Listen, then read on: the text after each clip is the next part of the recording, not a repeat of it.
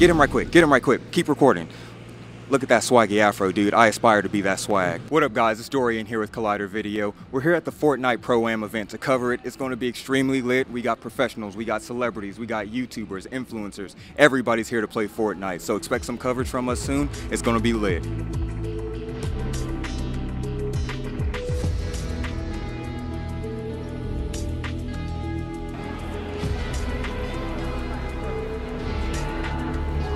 And right now, Ninja and Marshmello, they have the power position, they have the high ground, they have the control. And Marshmello come out on top. Wow, what a game. But what a, what a performance from Courage as well. Unbelievable. That last, the last couple circles were so tense. All right, so we just wrapped up the event. Marshmello and Ninja ended up taking up the whole thing. So their charity of choice, I'm not sure which one they're going to pick. They get a million dollars. So it's a great cause, a great event, a huge turnout. It was an amazing time. A bunch of Fortnite fans out here wilding out. So I'm going to interview a couple of these people, get their thoughts on the overall thing, and we're going to make some moves from there. What's your favorite place to land when you know when we're getting off the party bus? Everybody's ready to turn up, and then they jump. Where do you land at? Uh, Salty Springs. Salty Springs. Salty Springs, everybody. Keep it salty. Actually, don't keep it salty because that's a bad personality. We don't like that out here. So, what is your favorite weapon to use?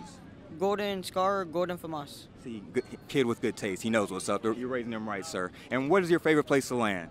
I usually go for Lucky and Salty. Lucky and salty. See, we're smart kid.